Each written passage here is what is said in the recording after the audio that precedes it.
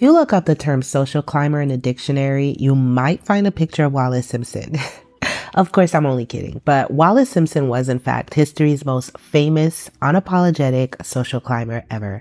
She saw what she wanted and went after it with no remorse, even if that meant betraying one of her closest friends, cheating on her lower class husband, and turning the whole world against the monarchy. Wallis did not care. She was a very complex figure and also very much a bit of a contradiction.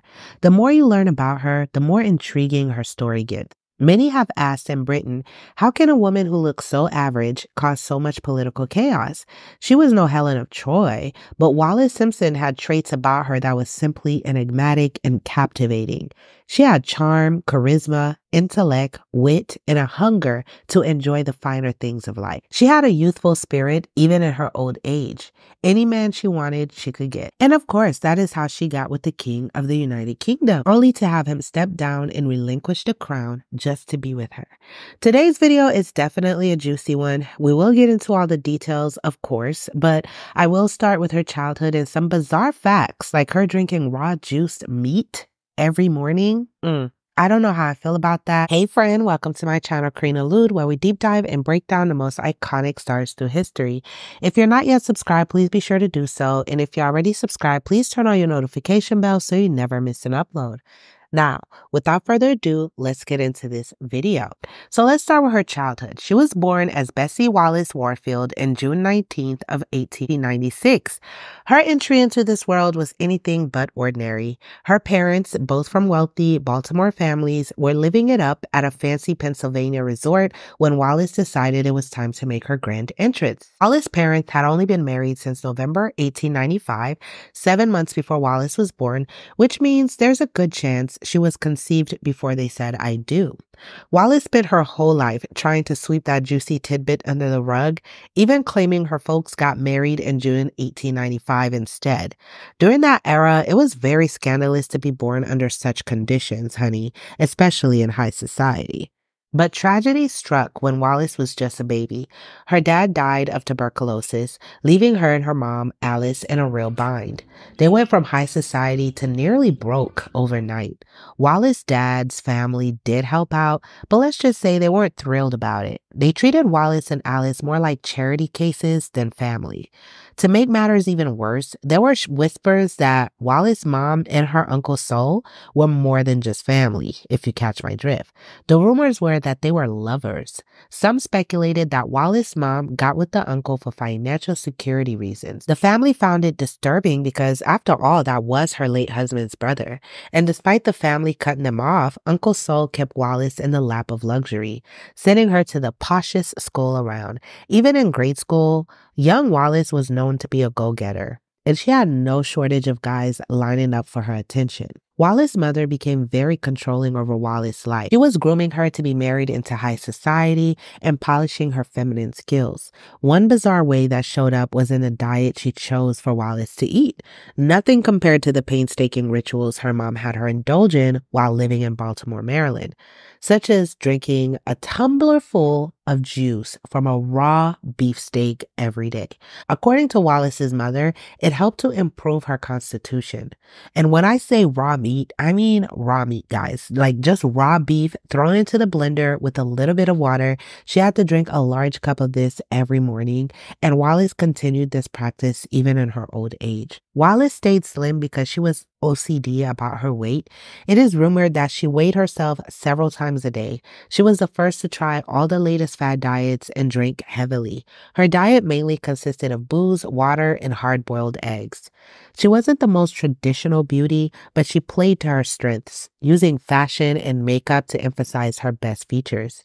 She knew the power of strong red lips, Another thing Simpson did was emphasize her eyebrows to frame her face.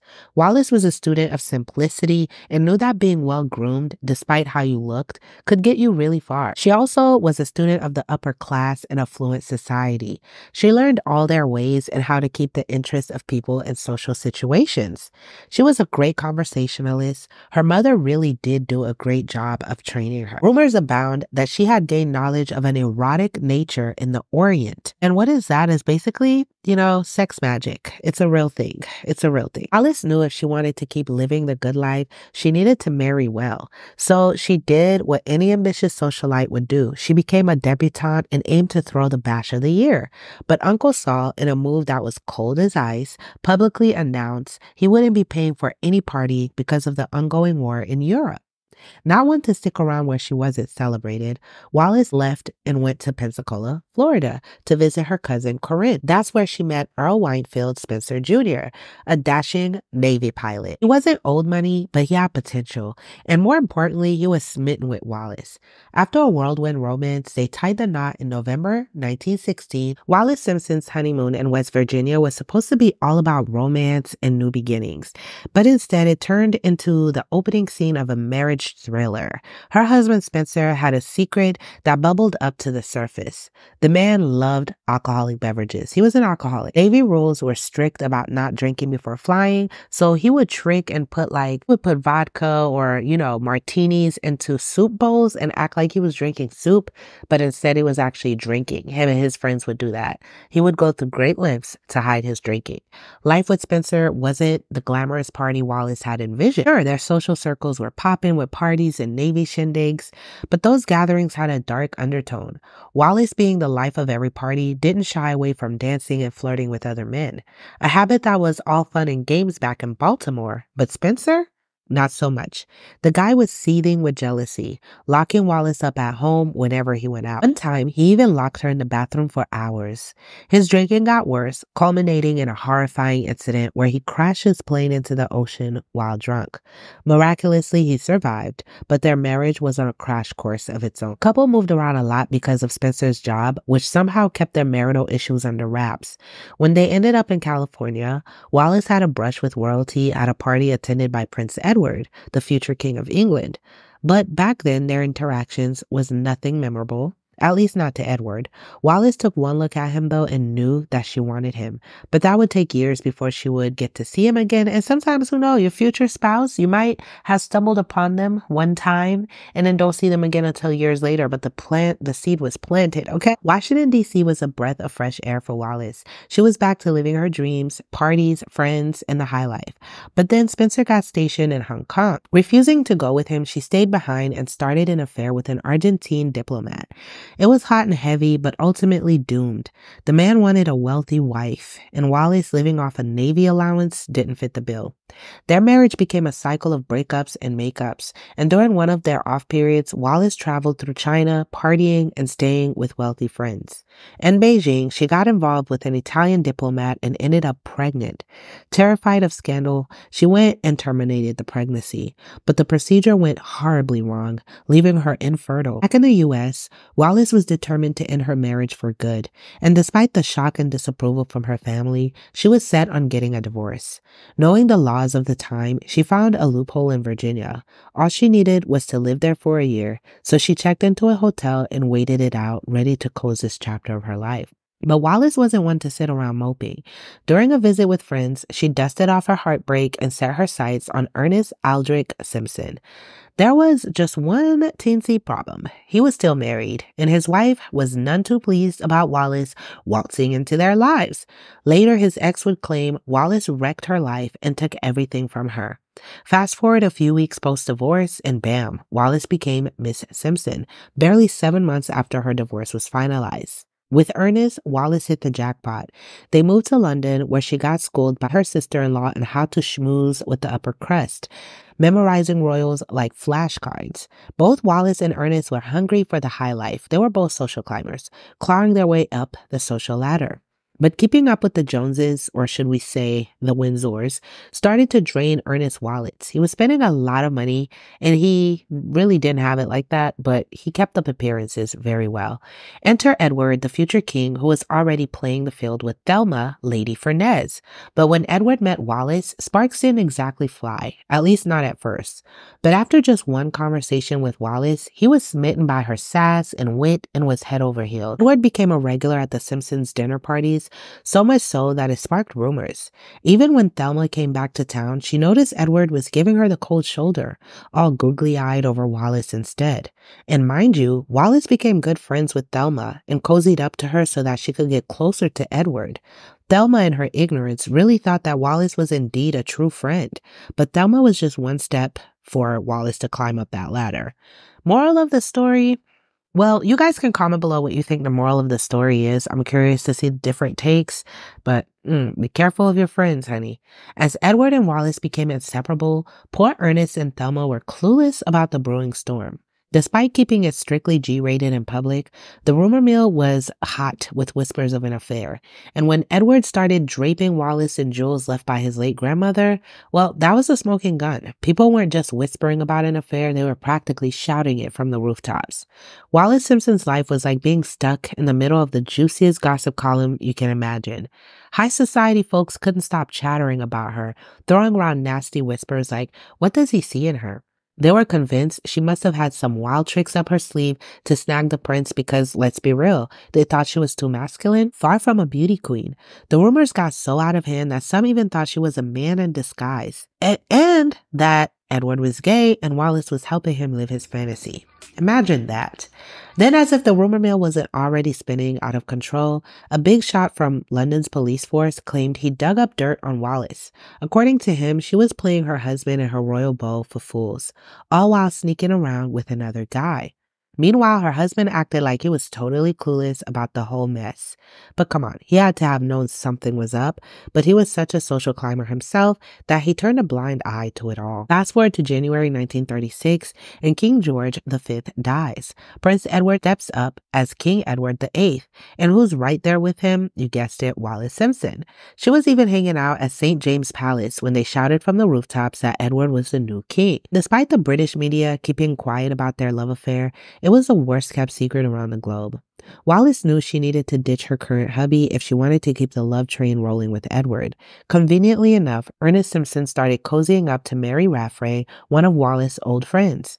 Since the Church of English was super strict about divorce, only cheating could get you out of a marriage, so Ernest was caught, quote unquote, red handed in a hotel room with Raffray. So rumor has it that Ernest and Raffray were in on it with Wallis and Edward. They intentionally got caught so that the public wouldn't frown on their divorce. Since Ernest was already in debt for trying to keep up with the Joneses, he was paid off to quietly take the fall for infidelity. What do you guys think? The whole affair made waves, earning Wallis and Edward some serious side eye from the conservative British Parliament and pretty much every British colony out there. Edward tried his best to bring Wallis into his kingly world, despite his family throwing shade and calling her that woman. He was dead set on making her his queen. But the bigwigs in Australia, Canada, and South Africa were having none of it. Then bam, the English newspaper hit the stands with grave constitutional crisis plastered on the front page, stirring up a storm about Wallis, the twice divorced American who stole the king's heart. The general public, just catching wind of this drama, was both shocked and ticked off. Protests exploded outside Wallis's doorsteps, with some folks even threatening her life. Despite having royal guards on her side, the situation got so dicey that Wallis had to hatch an escape plan. Teaming up with one of the king's mates, Wallis made her escape not knowing it would be nearly three years before she stepped foot on English soil again. Wallis Simpson's arrival in France was nothing short of a hot mess. She lands hoping to slip under the radar, but the king, her beloved Edward, botched up the paperwork for her passport and car. They had this whole incognito plan with a fake name and everything, but it all fell apart. The French officials were like, Aren't you, you know? There's only one way Edward can keep his crown. And it was all on her. She had to leave him. So they shoot out this press release from Cannes, basically saying Wallis would bow out if she was causing too much drama. Like she was dumping Prince Edward via front page news, okay? The newspaper ate it up, hinting that the royal crisis was done and dusted. But they were wrong. Edward, not one to sit around, had already made up his mind. Before Wallis ink was even dry, he announced he was ditching the throne for love. Just like that, he planned to abdicate, passing the king baton to his brother George VI. This was earth-shattering stuff. Royal bombshells don't get bigger than this. After the abdication, Wallis and Edward didn't exactly ride off into a fairy tale ending. They became the poster couple for scandal, living under a microscope. Trust issues, they had them in spades, convinced their so called friends were just waiting to spill their secrets for a quick buck. They were finally free to marry, though. Edward left the palace and went to stay with his good friends, Rothschilds. And if you know anything about that family, then that's all I will say. While Wallis was busy planning the wedding of the century, Edward was being a total diva at the Rothschilds, acting all shocked whenever someone dared to show him a bill. How the prince, who never had to pay for anything, all of a sudden has to figure out how banking systems worked. Despite snagging the Duke title, the royal cash flow was more of a trickle, leaving Edward scrambling for funds. He no longer had the lavish access that he once had. The public was still very much Team Edward thanks to his heartfelt goodbye speech, while Wallis was seen as a villain in their royal soap opera. But hey, everyone loves a good comeback story. Their wedding, though snubbed by Edward's family, was a hit. Wallis stunned everyone in a chic blue dress, giving the world the happy ending it craved. Wallis Simpson finally married her prince. But let's just say the royal welcome mat wasn't exactly rolled out. King George VI dubbed her the Duchess of Windsor, but drew the line at Her Royal Highness. The snub didn't just irk Edward, Wallis was livid too. At their plush home, she had the staff call her Her Royal Highness, a cheeky middle finger to the official decree. Their honeymoon, they hopped on a train owned by none other than Benito Mussolini. Mm, and if you know anything about that, so while gallivanting through Italy, Edward wasn't just sightseeing, he was caught on camera throwing up fascist salutes. The scandal meter was off the charts. Next up, the States. Charles Bedaux, a man whose reputation was muddier than a rainy day at a festival, footed the bill for their grand American tour. But America wasn't having any of it. Protests erupted, the First Lady gave them the cold shoulder, and a British ambassador practically begged them to leave the, the United States. And they had no job opportunities. The scandal of their union made them unwanted everywhere they went. Stuck in a sort of limbo, they floated from one holiday to the next, crashing at friends' houses. Gone were the days of potential and possibility. Now they were just drifting aimless. Then, as if their choices couldn't get any better, any more questionable, they took up Bedaux on another offer, a trip to meet Adolf Hitler. There they were, you know, hanging out with Hitler with Edward chatting away in German and Wallis throwing out Hell Hitlers like confetti, clueless to the conversation. Back home, the royal family was ready to disown them twice over. Rumors swirled that Wallis was a secret German agent sent years ago to throw a wrench in the monarchy. Talk about a plot twist. As World War II loomed and the Germans marched on Paris, Wallis and Edward beat it out of there, eventually landing in Portugal. That's when Edward finally snagged a royal gig, governor of the Bahamas. Finally, a sense of purpose. He finally got a job, y'all. Wallis threw herself into the role of governor's wife, but her comments on the locals, yikes. Let's just say she wouldn't win any popularity contests. She was very racially insensitive. And her shopping sprees in the US during Britain's darkest hours also was not a great look. Wallis and Edward had a dark history of being racially ignorant, to say the least, and a trip to Barbados, Edward was just insufferable. He complained he was having a miserable and loathsome time and described the tropical paradise as a bum place. The royal playboy reported the local scenery as being ugly and he found the colored population to be revolting. He moaned, I can't and shan't be able to raise the least enthusiasm about anything on this trip. It looks a proper bum island, this Barbados. It's a unique sort of scenery, very ugly, and I don't take much to the colored population who are revolting. End quote. I can't believe he's talking about Rihanna's island like that. Come on, it gave us Rihanna the disrespect. He held as much disdain for the Bahamas as he did for Barbados, calling the island which he governed a third class British colony. In the 1920s, he was also quoted expressing his disgust for the indigenous Aboriginals during a tour of Australia. He is reported to have said, They are the most revolting form of living creatures I have ever seen. They are the lowest known form of human being and are the nearest things to monkeys. End quote. Edward's true dark nature, however, was no secret to the royal family. The church or the parliament, everyone close to Edward knew that beyond his charming facade, he was utterly unfit to rule. Caught in Edward's fierce obsession, she became the perfect scapegoat for those who wished to dethrone the troubled king. Through it all, Wallis seemed resigned to playing the villain. After all, she's been doing it since the day she and Edward first locked eyes. It is because, according to a new book, That Woman by Anne Sebba, Wallis never expected her affair to go so far and certainly never wanted Edward to abdicate. He convinced her that if she left him, he could not go on. King taking his own life over a love affair would taint the royal family more than an alternative. She agreed to marry him. This information came to the author by way of unpublished letters between Wallis and her second husband, Ernest Simpson. They were on more than good terms throughout Ernest's cooked up affair to end the marriage and allowed Wallis her freedom to marry Edward. Wallis confided her thoughts to Ernest, all the while making sure he was doing okay. The letters were kept in the family and only recently revealed by Ernest's now elderly son with his wife after Wallis. War is over, and our duo decides to ditch the Bahamas for a life that sounds like it's straight out of a fancy magazine. They're all about jet setting, splurging in posh stores, and rubbing elbows with the creme de la creme of the cafe society.